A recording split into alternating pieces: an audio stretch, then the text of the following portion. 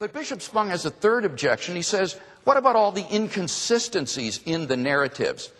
Well, as I said in my first speech, no historian just throws out a source because it has inconsistencies.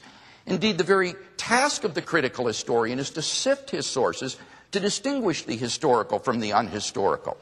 And so looking for inconsistencies is just too blunt a tool to be of much value in analyzing one's sources. It's like trying to do brain surgery with a machete. Moreover, the inconsistencies that Bishop Spong is talking about aren't within a single source. They're between independent sources.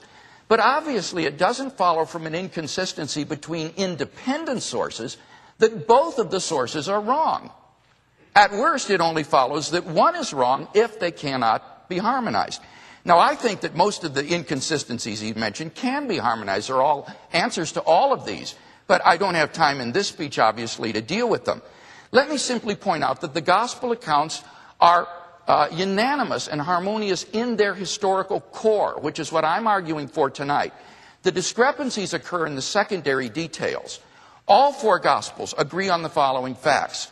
That Jesus of Nazareth was crucified in Jerusalem by Roman authority at the time of the Passover feast, having been arrested and convicted on charges of blasphemy by the Jewish Sanhedrin, and then slandered before the Roman governor Pilate on charges of treason. He died within a few hours and was buried Friday afternoon by Joseph of Arimathea in a tomb, which was then sealed with a stone. Certain women followers of Jesus, including Mary Magdalene, having observed his interment, visited his tomb early on Sunday morning, only to find it empty.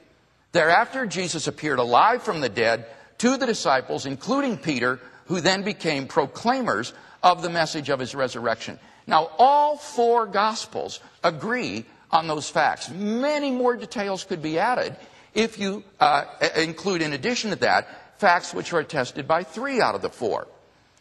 The historian Michael Grant concludes True, the discovery of the empty tomb is narrated differently by the different Gospels. But if we apply the same sort of criteria that we would apply to any other ancient literary sources, then the evidence is firm and plausible enough to necessitate the conclusion that the tomb was indeed found empty.